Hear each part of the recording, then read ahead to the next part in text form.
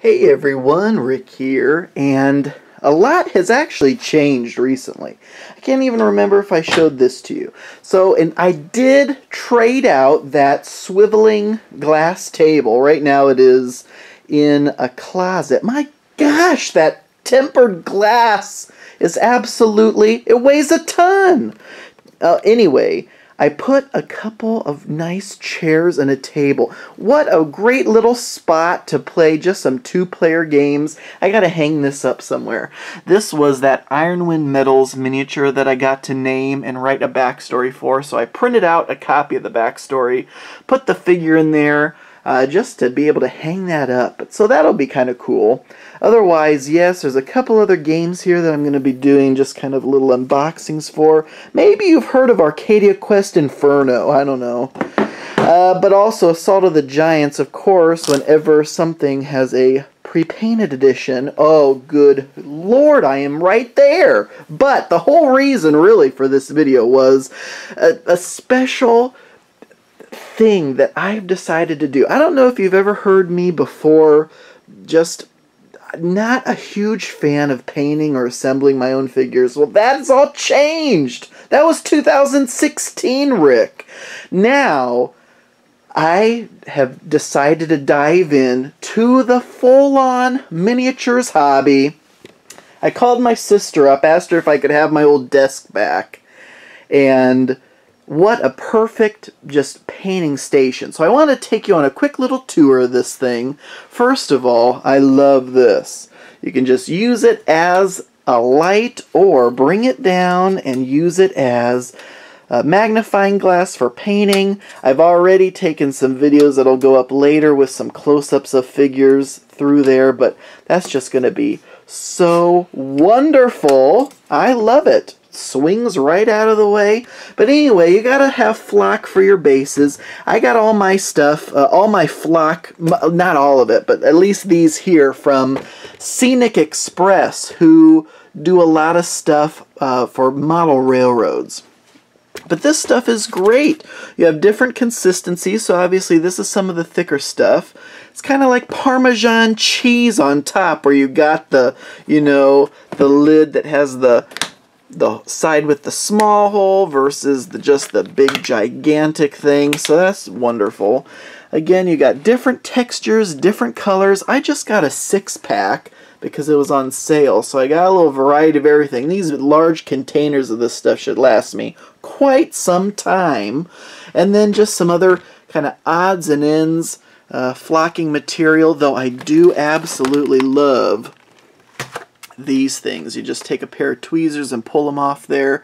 Just little tufts little tufts of grass or weeds and you can stick those on your flocked bases to give it a little, you know, little more character. But of course, we got some other Games Workshop stuff that I've just had lying around for ages and ages.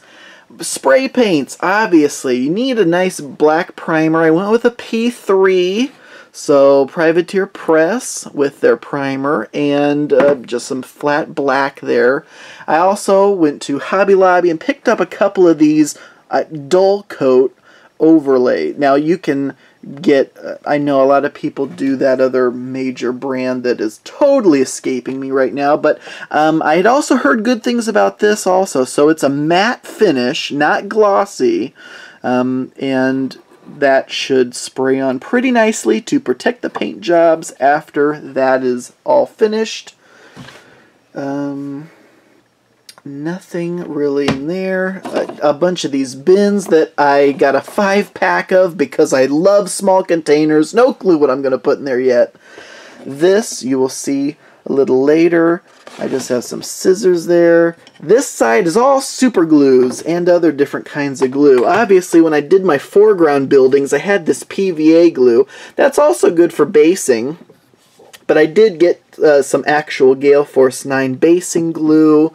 And then the actual super glues. Now, I already had the plastic glue from uh, Games Workshop, but I needed something for metals, so I did some research online. People really like the Gorilla Glue, especially the gel. It's not as runny, but I did pick up some of the regular as well. Loctite, I've heard good things about. And then also Zap-A-Gap. So especially with metal miniatures where there might be a little gap between joints, you can use some... Uh, what do you call it, green stuff, but uh, I also got some of this because that, apparently that fills in gaps, uh, at least small gaps, alright. And then we come to the really exciting things. First of all, this cutting mat, so you know with your X-Acto knife, and it's one of those self-healing ones, so it won't be permanently damaged. Obviously you see these all the time, but I love the fact there's a one inch grid on there for quickly measuring things. I, I, you know what? It was actually kind of tough to find something to put paintbrushes in. I mean, I would have thought for sure, at least where I was looking, it took me forever. I could, where did I even find this? This wasn't even for paintbrushes. This was for something else. But I was like, okay, that'll work perfectly because what I had also gotten was one of these toothbrush holders. I put pens in there for now, but originally that's what I was going to put my paintbrushes on because I could not find a, a, thing.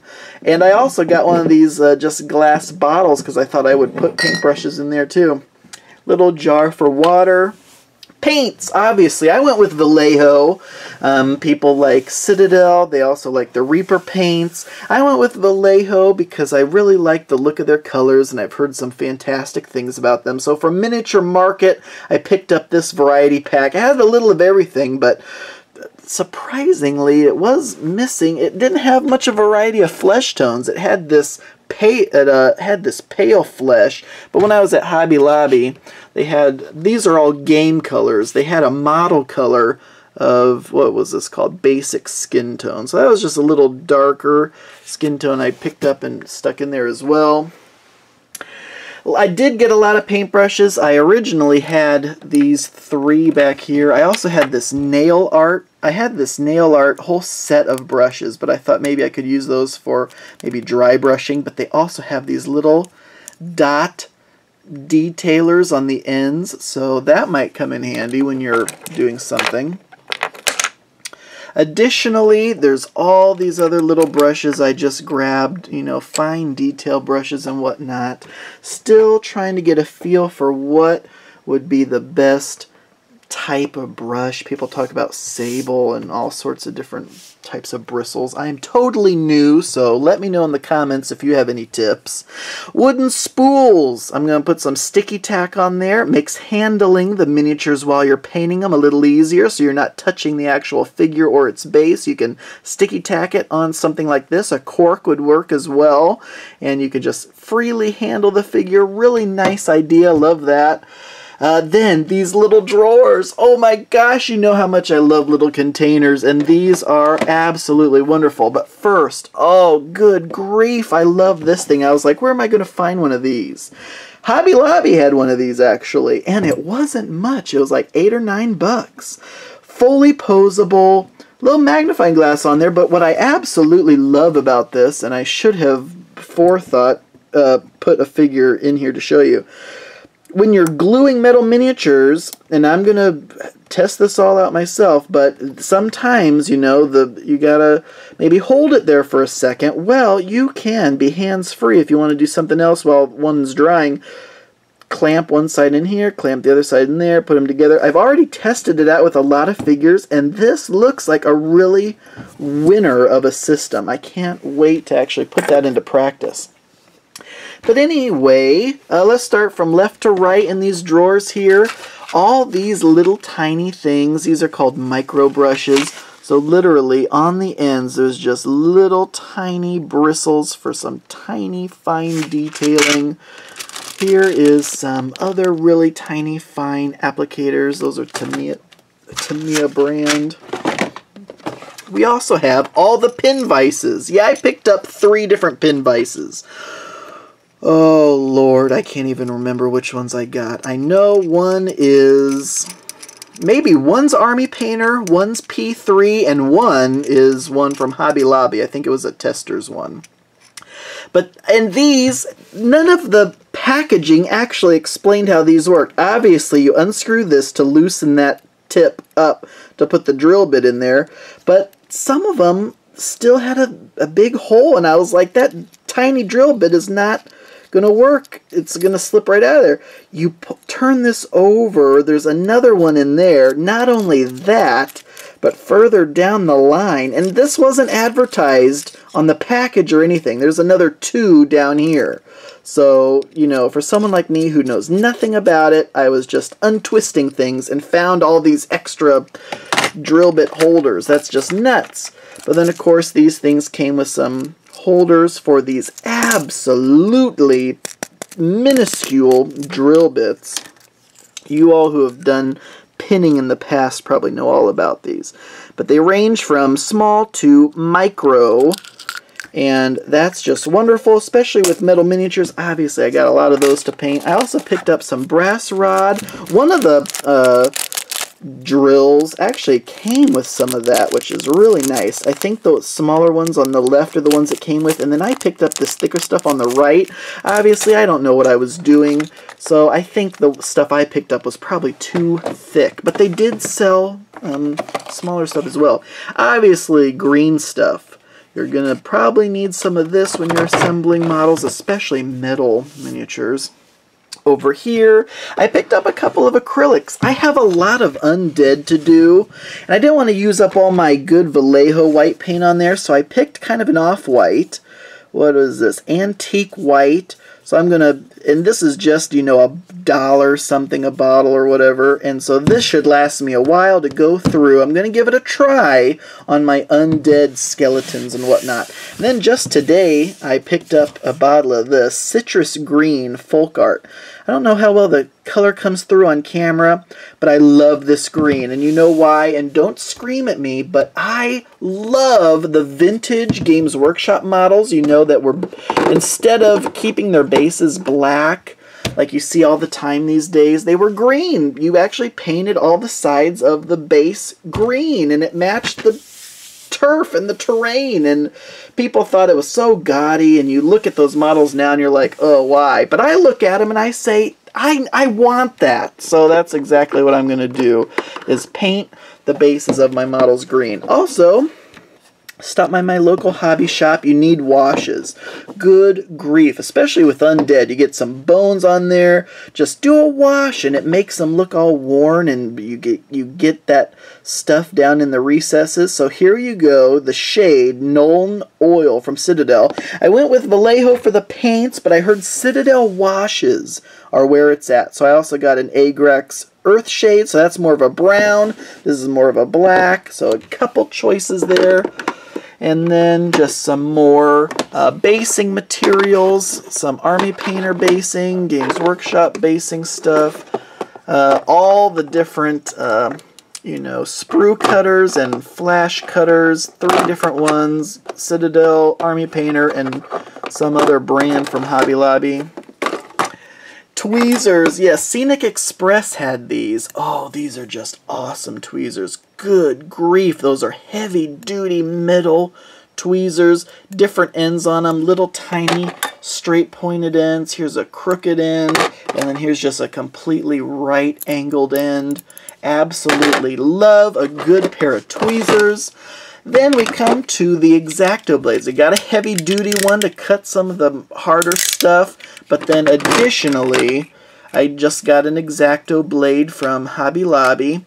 And then Miniature Market had one from the Armory. How cool is that? So a couple X-Acto blades, some extra blades in there. Finally, in this little thing over here, tons of these uh, clay sculpting tools. So when you are using your green stuff and you kind of want it to form around the miniature, you might want to etch some detail into it to kind of blend it in with the texture of the surrounding uh, miniature where your green stuff is going.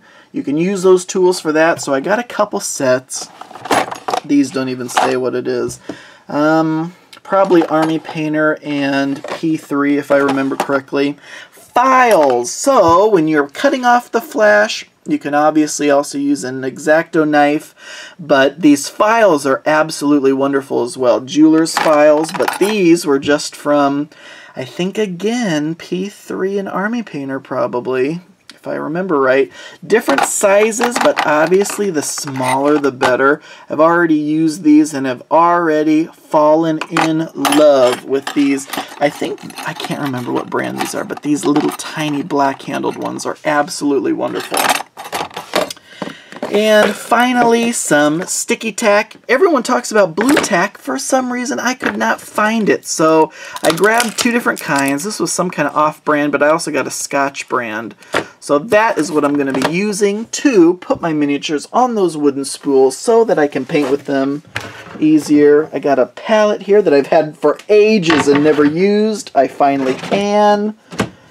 There's just paper in there, trash bags, obviously, and, oh, a couple gallons of distilled water because I had heard a tip that when you are cleaning your brushes, you don't want minerals from regular tap water to ruin your paint job. I'm sure that's probably some, you know, Golden Demon Winners Pro paint tip that I, a mineral from water is not going to bother me any, but you know, hey, I got a couple gallons because it's also downstairs here and it, I don't want to have to run up and get water all the time.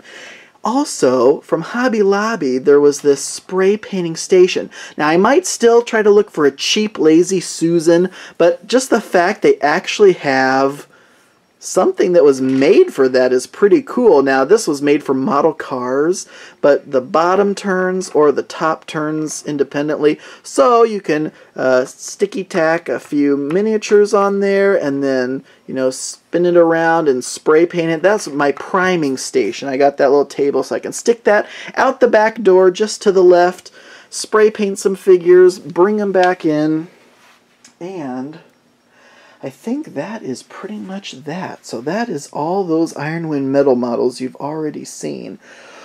Oh my goodness, I just can't wait to dive right into the world of miniatures assembly and painting. We'll see how it goes. I'll keep you updated. I'm thinking about doing a blog so I don't, you know, spam my YouTube channel with all those updates.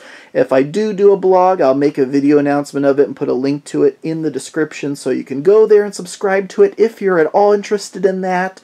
If not, that's okay. There's plenty more board game unboxings, reviews, playthroughs, afterthoughts, all that kind of stuff happening. More Lego videos and other crazy videos if I think of them coming up also. So as always, thank you so much. Until next time, put anything in the comments you want, especially if you have any of your own uh, setups. I'd love it. If you took a video of, a, of your own studio, definitely link me to it. I want to see how you do it. And until next time.